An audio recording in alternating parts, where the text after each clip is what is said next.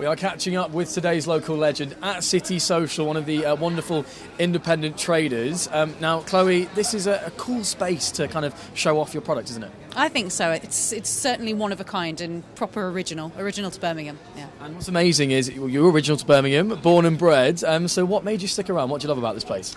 I mean, I've lived in lots of places, but um, Birmingham has a heart about it that I, I haven't found in any other city in, in the UK. There is a sense of community. There's also, um, everybody's very humble and um, everybody's got a great sense of humour, so that always helps. What's wonderful about, in particular, City Social and what Birmingham provides is a comfort blanket of people. We are a community around here, we're like a little family, and we all support each other massively, and that's, that's what's really important about the whole thing. Amazing. Well, we've got one here of what you make, your toasties. I'm going to uh, dip it in some gravy and give it a try.